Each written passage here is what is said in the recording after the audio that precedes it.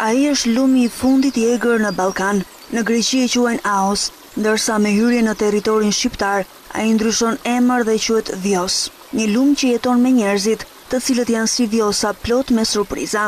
Është kjo historia e dokumentarit Vjosa, e rrëfyer nga tre të rinj sllovenë të cilët e kanë përshkruar me kajak nga Greqia, e deri në Shqipëri rrjedhën e lumit.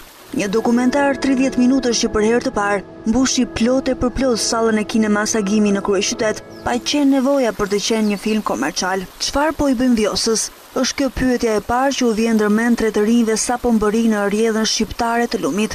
Ata njihen me një Vjosë tjetër. Nga Greqia në Shqipëri, e njëjta rrjedhë lumi ndryshon, Ka hidrocentrale të ndërtuara por edhe gjallesa që ngordhin nga ndotja.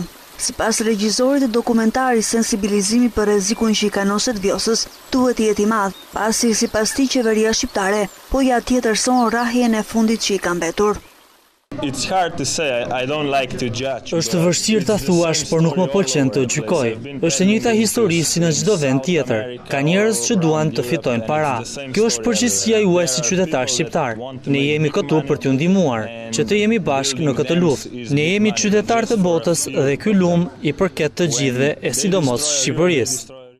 Rok Rozman rrëfen edhe momentin më të vështirë të lundrimit mbi Vjosë, kur u kërcënuan në luginë nga disa persona, që kërcënuan të lajmëronin policinë nëse vazhdonin filmimet.